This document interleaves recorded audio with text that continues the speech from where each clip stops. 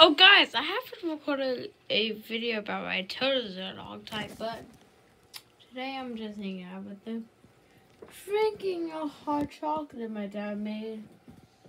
Yeah. See you guys soon.